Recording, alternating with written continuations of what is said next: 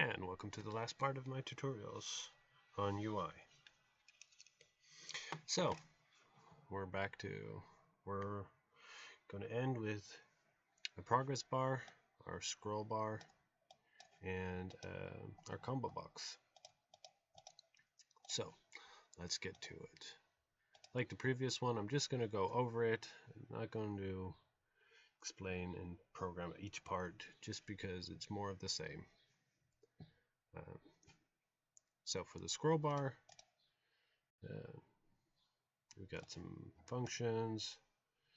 Um, I have like a virtual, pure virtual function for find nearest point because you could have a virtual scroll bar or a, a horizontal one, which would this would basically calculate differently depending on which axis you move. And get some values scroll on yeah so on scroll event listener initialize update etc etc um, combo box add remove items. I mean how simple can it be? And um, progress bar. Uh, minimum maximum and current value. Get percentage get percentage in string uh, set the value, etc. So that's that for the header files. Uh, I guess we can go over the CPP files as well. What was it? Combo box, scroll bar, progress bar. I mean, it's not that complicated, right? Um, so yeah,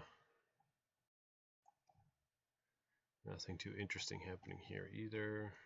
It's what you would expect for getters and setters mostly. Add or remove items. Uh,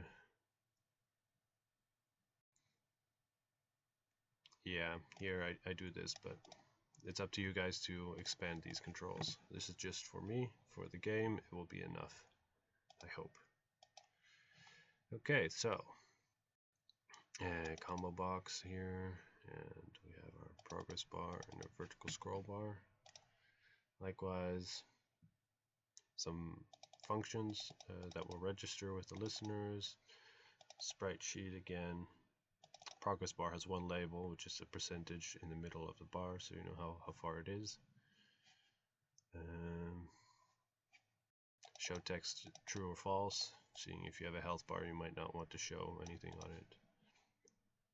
Um, combo box has a lot more going on. We'll go over this one last. Uh, scroll bar. Yeah, nothing too interesting. Here's the overrided function. And that's about it. So let's go to, let's, um, yeah. So we'll go over, which one was it? Combo box, right? Yeah. Let's go over the CPP files first for the progress bar and vertical scroll bar. So find nearest point, uh, mouse position, get drop position, you calculate everything. Uh, you find it, the steps it takes in between points. Uh, if you scroll a mouse, it will do an event and then scroll the, the bar as well. So if I do I just go mouse over it, I can scroll it with my wheel.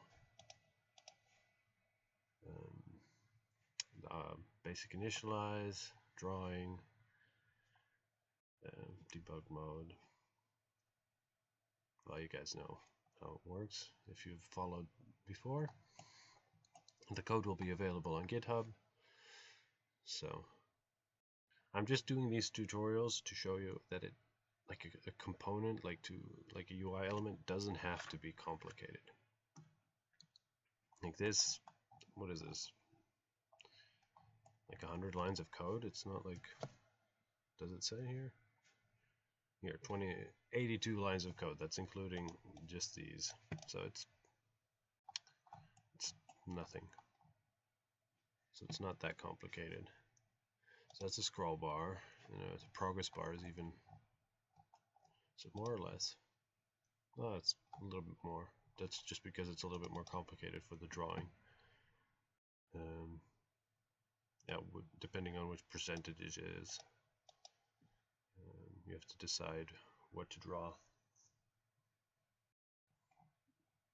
Um, initialize. Yeah, not uh, nothing too crazy. Everything you would expect.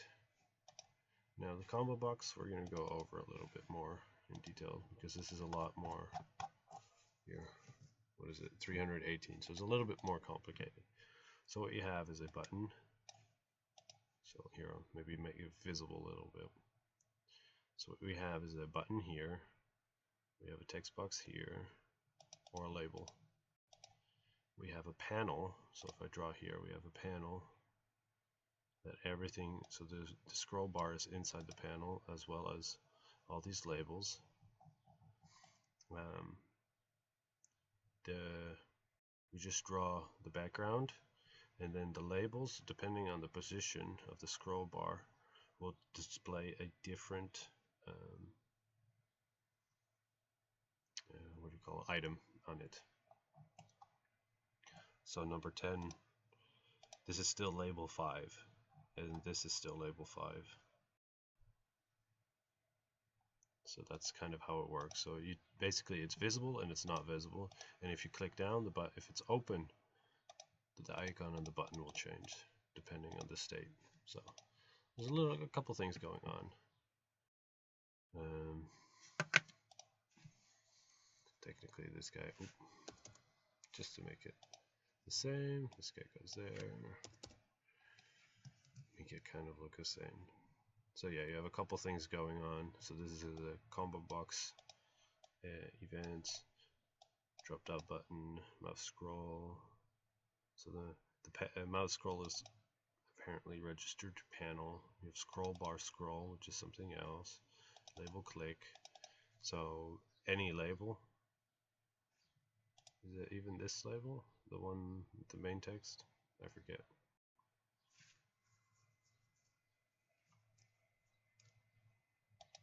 Yeah, I don't think this one does anything, but any all of these are registered to that event. And we have a selected index change. That's all it is for the header file. Now, here you can see the draw is quite large.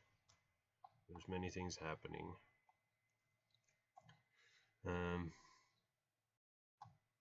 yeah, maybe I should have put more comments down for you guys.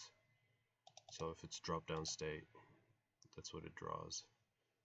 This is the, the text field, so it will draw the button and uh, the thing in the text box. Um, yeah, I think most of this is for the, yeah, if it's, depending on the amount of items, things change. So if you just have one item, it's just one. If it's less than five, it will decide um, some stuff. Uh, how big, uh, how many uh, labels to show and stuff like that. Um, so yeah, that's it for this tutorial slash explanation slash just showing off. But um, I hope these past tutorials kind of show what you could do with the system I set up and uh, of course there are some bugs and some minor issues that could still be fixed. Um, it's up to you guys I guess to add new features or controls whatever you would like. And depending on your sprite sheet or elements you use um, it would you would do things differently. So what are we going to work on next? Um, I skipped ahead and went for, with UI Manager, but I think we'll implement an animation. Um, I think this is supposed to say complicated. There we go. Because it's going to be quite complicated.